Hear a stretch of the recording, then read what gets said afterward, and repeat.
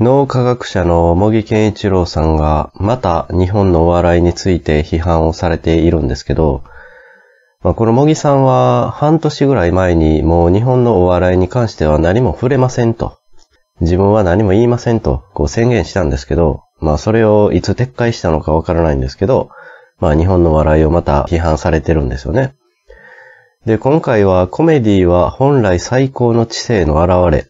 日本のお笑いは全員落第と。こういうタイトルの動画を投稿されていて、まあ日本のお笑いがなぜダメなのかっていうことをこうとうとうと語っているんですよね。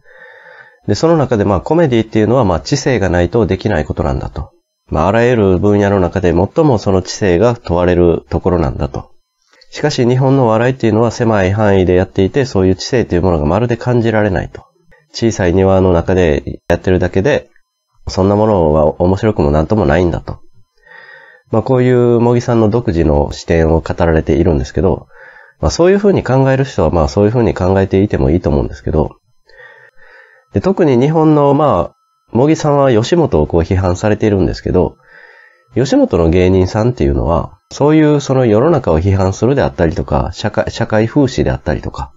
なんかそういうことで世の中を良くしていきたいんだって思ってるんじゃなくて、単純に純粋にお客さんに笑ってほしいと思ってるんですよね。で、そういうことに長けた人、お客さんを笑かすことに長けた人が重宝されているっていうこの社会なんですよ。で、茂木さんは今回の動画でもその自分がお笑いを批判するのは公益性のためなんだと。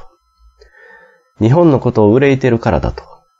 日本が危ういんだと。このままその日本のお笑い芸人のようなものがテレビを席巻していると。こういうような状況が続けば日本は危うい。ダメなんだと。そういうことをおっしゃるんですよ。で、僕はこれ、茂木さんが言ってることは常々疑問なんですけど、日本社会と欧米のそういう優れたコメディアンがいるとされている欧米と社会を比べて、どっちが優れてるんですかと。これ、茂木さんに聞きたいんですよね。僕は、それは日本社会より優れてる社会は存在すると思うんですけど、しかし、日本社会ってそのアメリカとか、イギリスとかと比べても、もう街は美しいし、住んでる人は親切で優しいし、なんて言うんですかね、暮らしやすさで言えば、そういうコメディの大物がいるような社会と、日本と、どっちがいいですか？って言ったら、日本なんじゃないんでしょうかと。その日本のコメディは、そういう茂木さんの尺度で測ると、つまらないものかもしれないんですけど、そういうつまらないコメディがもてはやされている、つまらないコメディを求めているこの日本社会の方が、全然、もう社会そのもの、あるいは人間性そのものが、レベル高くないですか？と。なんか他人のものを奪ったりとか、あるいは万引きしても、10万円までは万引きしても捕まらないぐらい犯罪者が大量にいる社会みたいな。それと比べて、日本ってどうですかと。そんなことしませんよ。日本人って。それって日本のレベルが低いコメディアンがテレビを席巻してこの日本をダメにしているからこの日本そうなったんですかじゃあそのダメになる前の日本ってどんなすごかったんだこの、もう、もぎさんはおそらくやはり松本さんにこう、おもおもろないぞと言われたことがもう脳の傷になってるんだと。これは僕の勝手な分析ですけど、そうなんじゃないのかなと。もう完全に破綻してるんですよ、言ってることが。そんなに海外のコメディが優れてるなら海外の社会の方が日本社会より素晴らしくないとおかしくないですかと思うんですよね。確かに日本の政治とか政治家とか腐ってる奴らはいっぱいいると思うんですよ。しかし、日本の政治家なりなんなりそういうものがかなり腐っていたとしても、日本人っていう個々のレベルが高いがゆえに日本社会ってすごく生きやすくて、すごく生活しやすくて、人々が素晴らしくて、海外から旅行に来た海外の旅行者はもう漏れなく喜んで帰るんですよ。こんな店員さんがこんなに優しい国って初めてだって言うんですよ。まあ、僕も海外行った時はその逆で新鮮味があるんですけど、こんなに適当でいいのと。こんなぶっきらぼうでいいのみたいな。それでチップ払わなあかんのみたいな。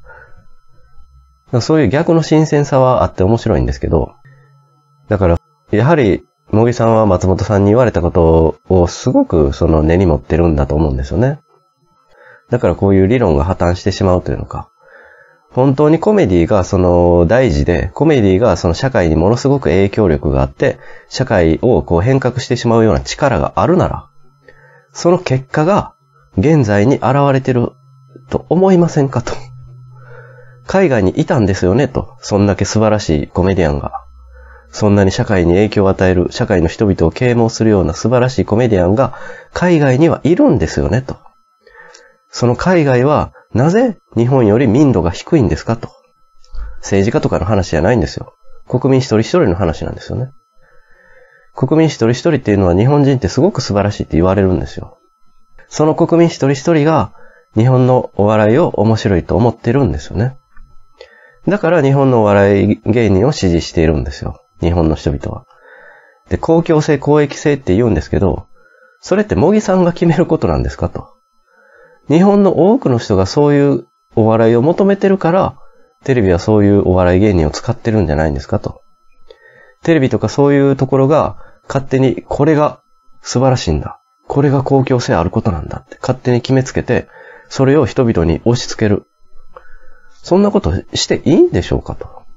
もういろいろ破綻してるんですよ、この人。で、最高の知性の現れであるとか、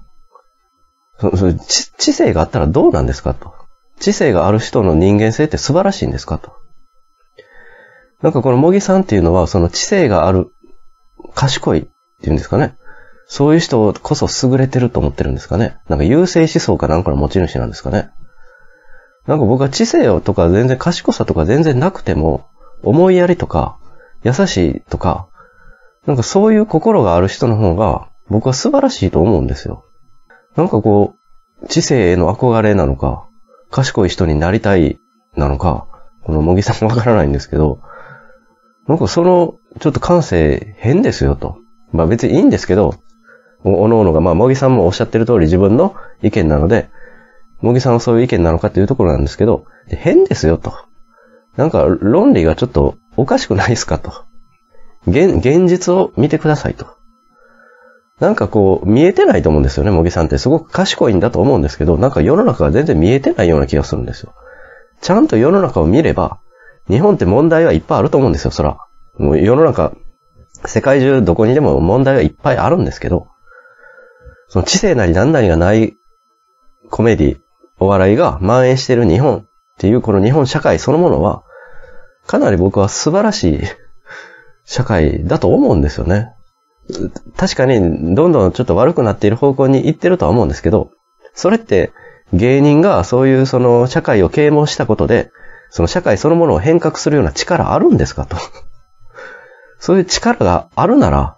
その社会に問題ってなんで起きるんですかと。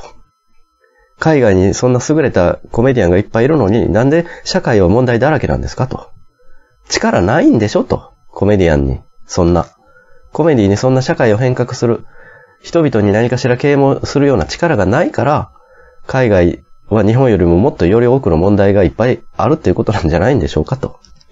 それを日本の人は多分潜在的に分かってるんですよ。だからお笑いにそんな知性とか、社会性とか、社会に対する啓蒙とか、求めてないんですよ。無駄だから、それが。むしろ、茂木さんの逆なんですよ。日本のお笑いの方が貴重なんですよ。笑いたい時こそ笑わしてください。で、笑わせてくれるのが日本のお笑い芸人なんですよ。そこで何かしら説教とか、啓蒙とか、必要としてないんですよ。で、そういうお笑いが蔓延しているこの日本社会っていうのは、世界的に有数の素晴らしい国民性の国だと、海外の人が認めてるんですよ。これは茂木さん分かった方がいいんです、いいと思うんですよね。この茂木さんの意見を支持している人たちも、